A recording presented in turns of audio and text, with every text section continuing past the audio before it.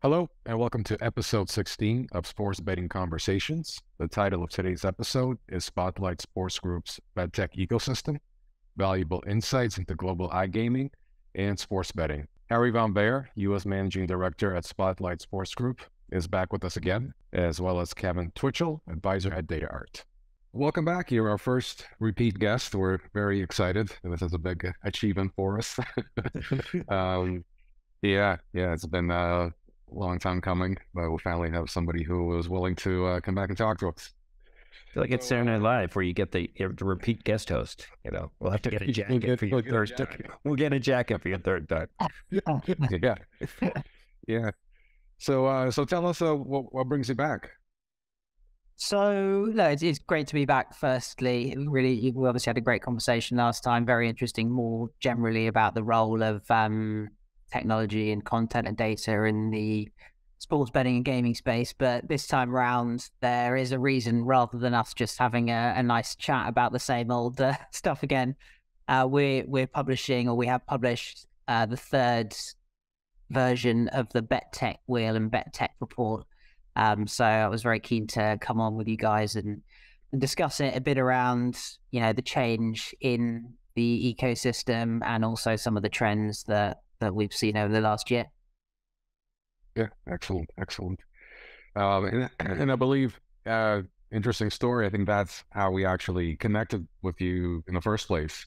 Uh, was we we saw that you know amazing uh, graphic, and then uh, somebody reshared somebody, and you know, I guess for us, Kevin, it was viral, but our version of viral, and and that's yeah. how we got connected. I, I think we both read it last time we were at one of the SBCs. and It may have connected there. So, and here we go again, back to back to New Jersey. So that's good. It's good. It's uh, it's doing its job.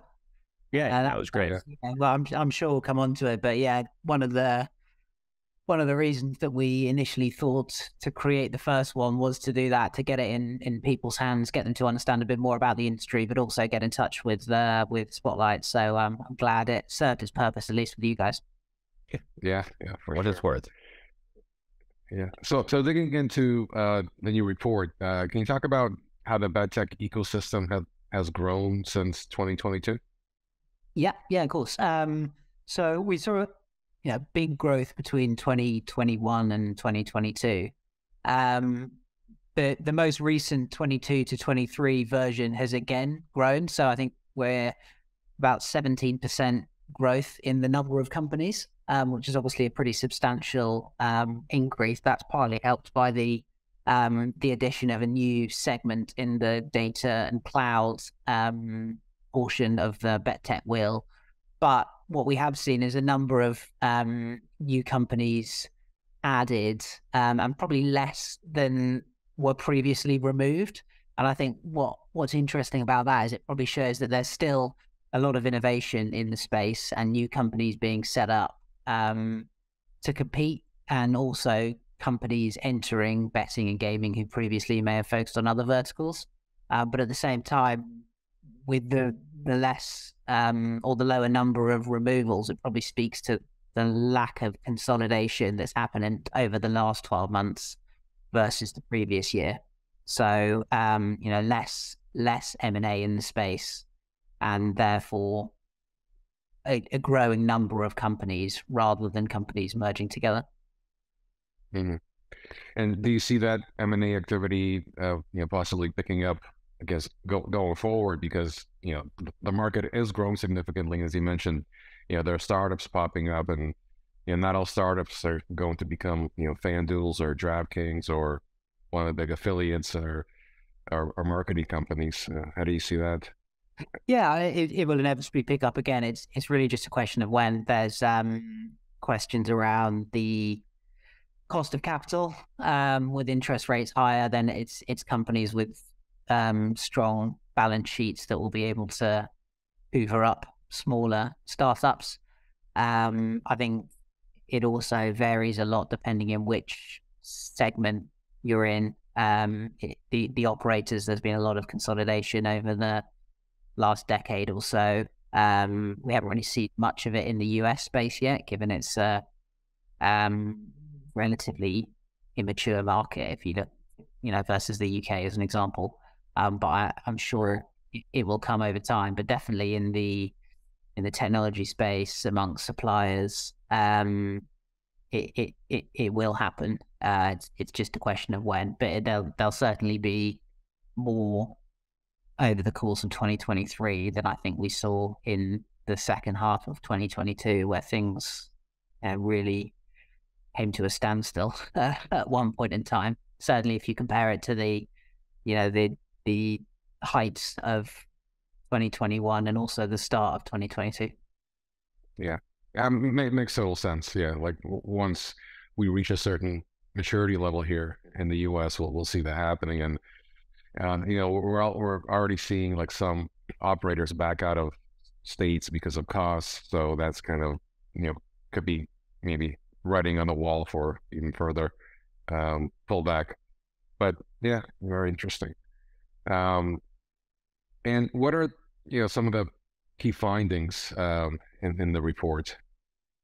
Um, so the report touches on a few different areas. I think one one of the main um, kind of insights is the difference in levels of maturity across the each side of the Atlantic. That's that's not going to be sort of massive news to anyone, and it's certainly not rocket science. But I think it's very interesting to look at um, the maturity of the European um, market and how relatively saturated it has become, and the regulation that is um, causing issues for a number of operators and, and suppliers in the various more mature European markets, and then comparing that to um, to a US market that's grown incredibly strongly, um, but is now facing, you know, what I, what I personally think is something of an overcorrection.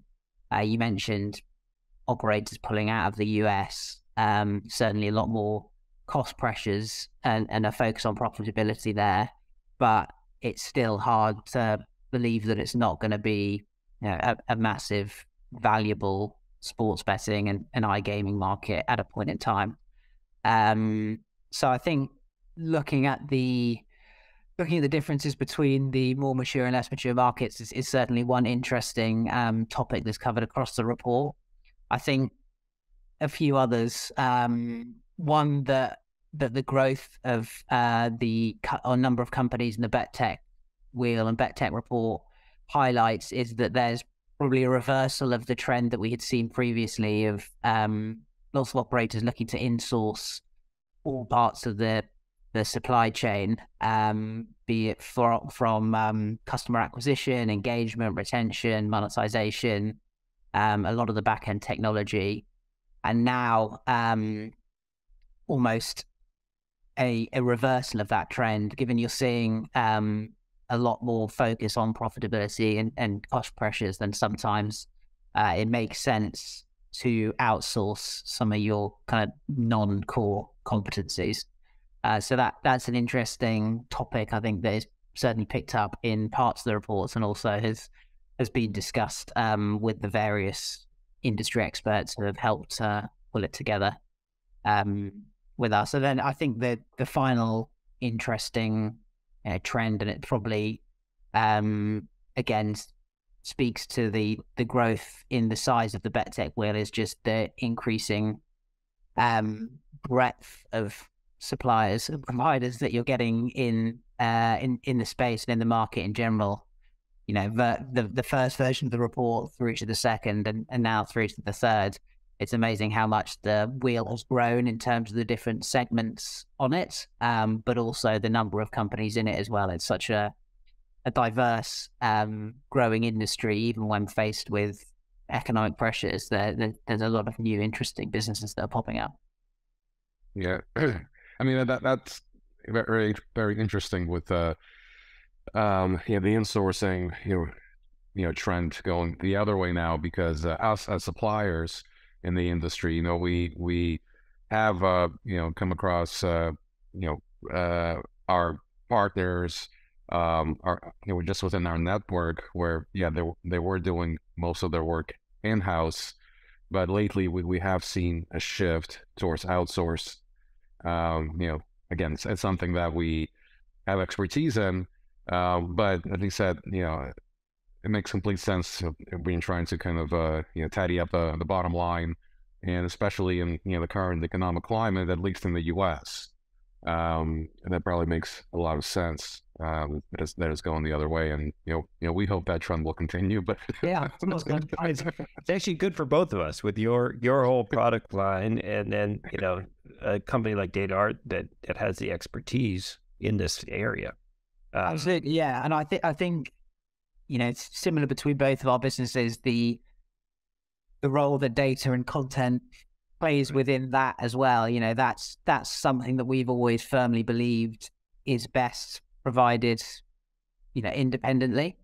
Um, certainly on the on the content side of things, the independence of it is is a real point of difference and something that you know that drives betting behavior and and um, engages bettors. Uh, so I think it's it's it's interesting that you've gone through this whole cycle from a US market perspective of everything needs to be insourced and you need to be fully vertically integrated. Um, you know, operators buying platforms, operators buying trading solutions. Um, and now we're we're sort of coming out the other end of it during a an economic downturn and seeing that actually there's large elements that you can outsource and sometimes it's better to really focus on the the kind of core parts of your proposition and and rely on good quality suppliers to to power the rest of it. Yeah, yeah, it makes total sense.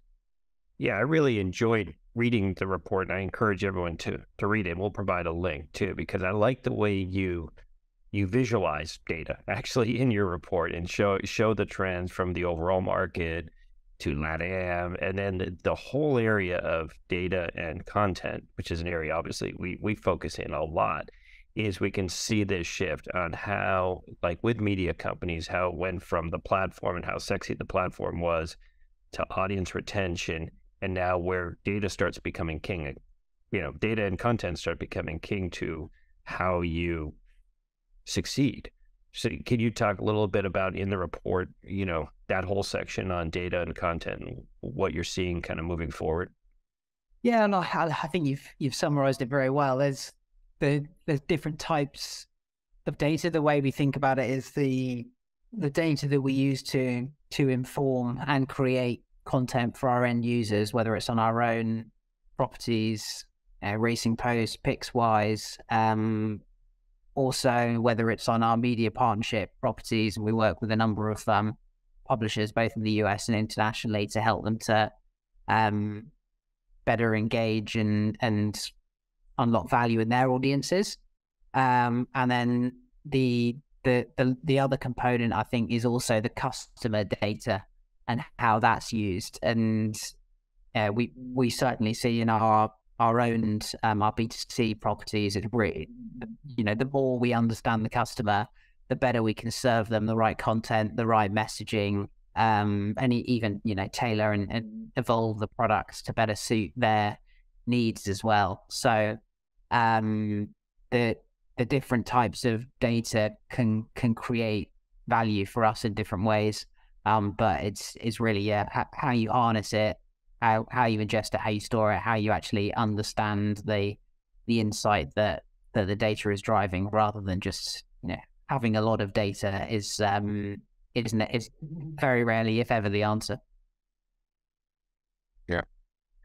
So so this report uh, yeah, it obviously takes a lot of work to pull together, you know, like as you just mentioned, all the, all the data points, um, and also, you know, the, the, the wheel as well, which is a amazing, you know, illustration of what's going on in, in the industry.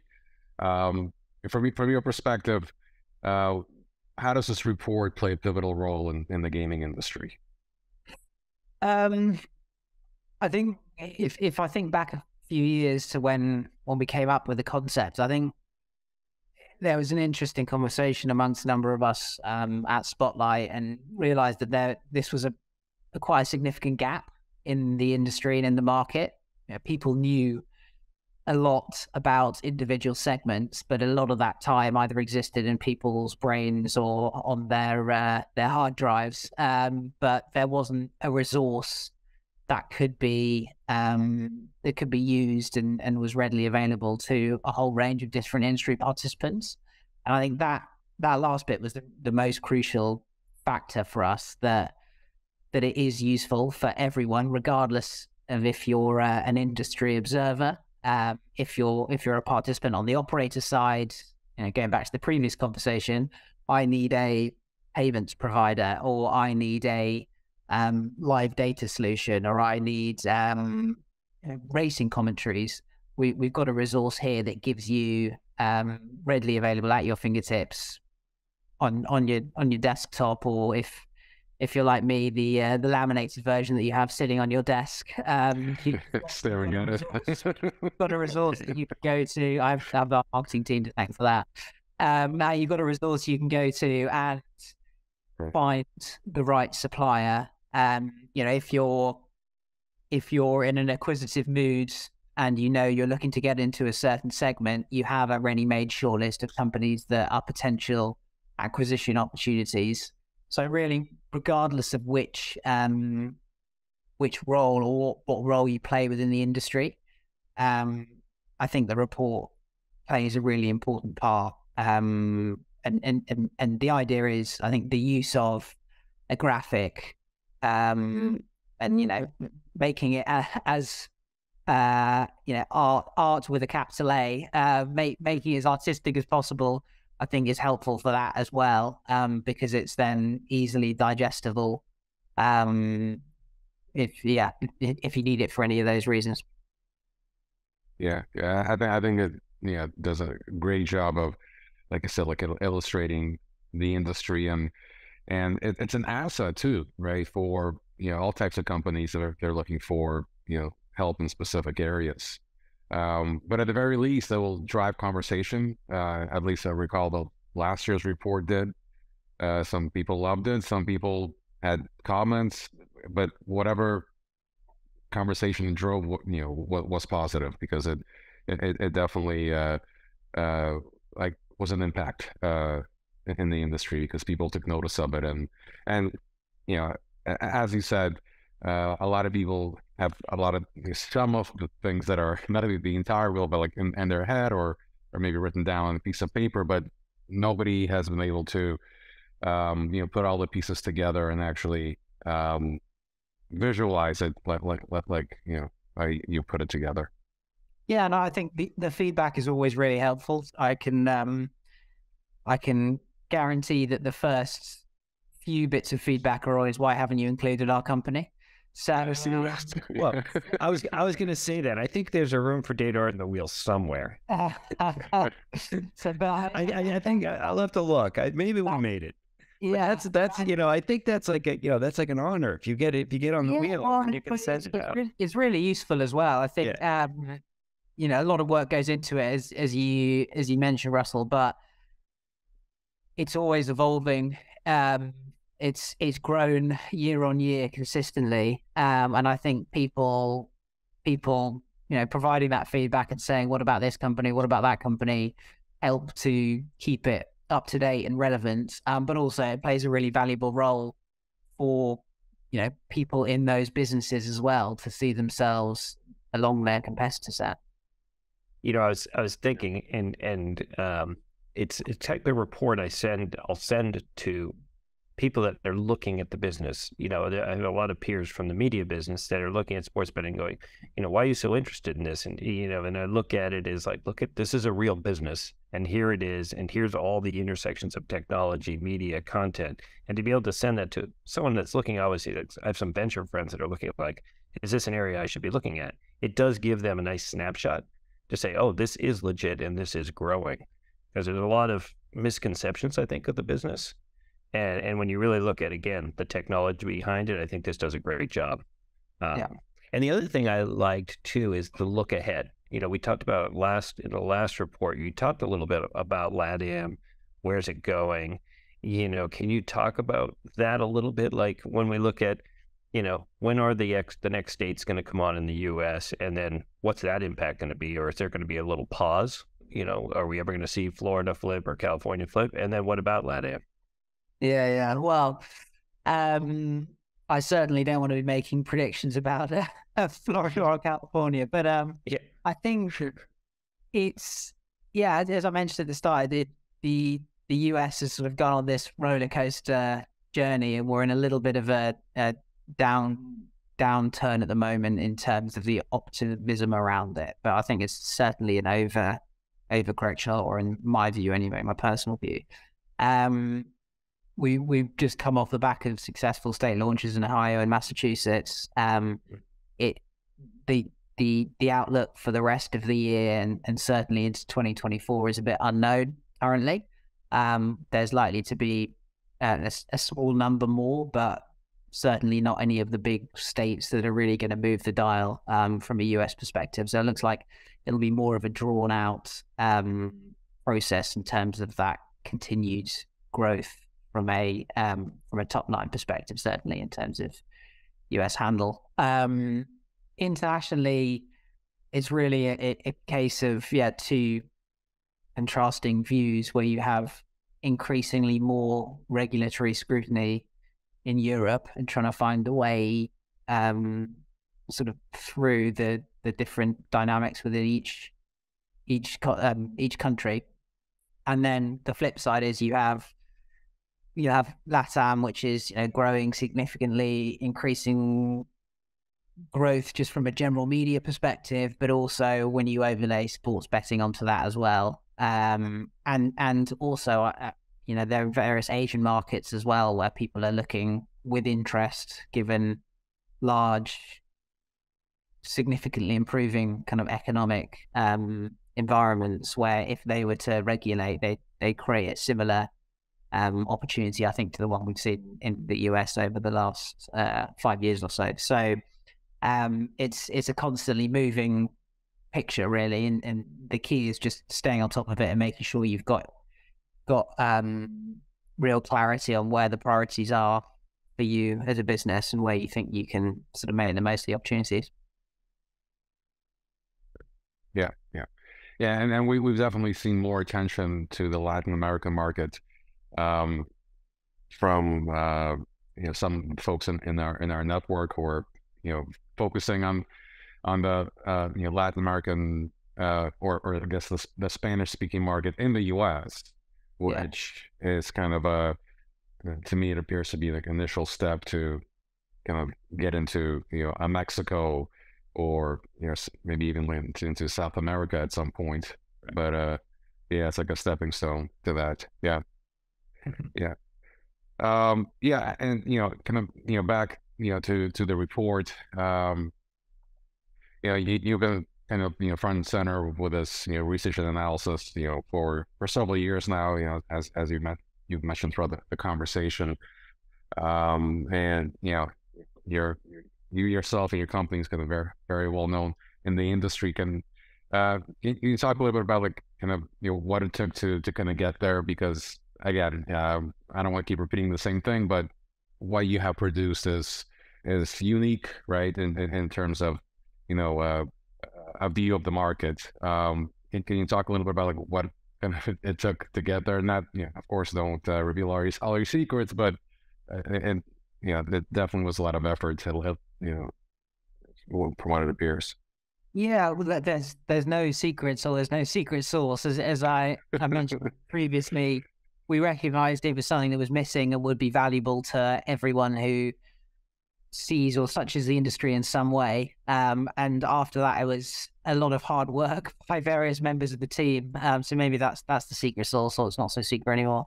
Um, yeah, pe- people putting their heads together, desktop research, speaking to um, various participants within within the industry. We also have had input from a a number of you know independent um, betting and gaming experts as well. So it helps.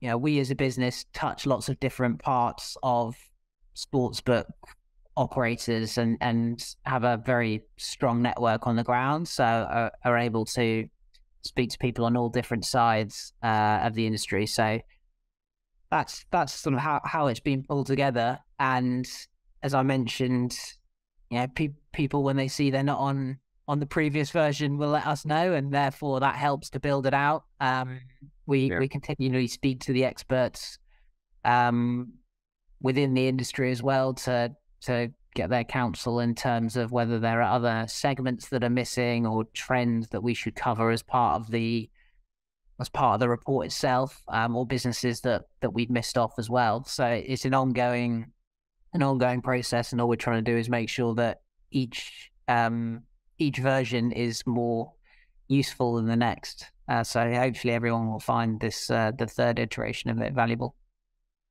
Yeah, yeah, and uh, you know, at least from from my perspective, what was great is that you know a lot of people have their own commentary thoughts. You know, it's kind of a little bit of a wild, wild west out there in terms of, um, you know, some of the more prominent folks in the industry. But all of your research is backed up by data, um, which to me, uh, you know, looking at it, it, it, brings a lot more confidence than hearing somebody's uh, thoughts or, or guesses, you know, in terms of you know what's going to happen, where the industry is going, which states will go live, and um, you know, I do, I do appreciate your, um, you know, uh, commentary on uh, you know, the market here because, yeah, I mean, it, it's it's hard hard to tell, and you know, we're not in kind of the uh, the guessing business, right, or prediction business, or you know, so it's all backed up by data and facts, which which makes it even more superb, at least in my eyes. So,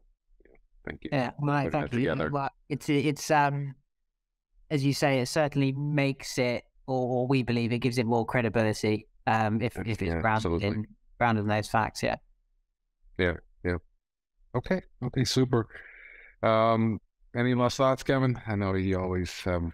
I know this is great. no, but what, my, my my most important thought is that people actually should read it and take a look at it. And and I actually say go back and look at the other reports too, because what I love to look is now a wheel and look at how the industry has evolved.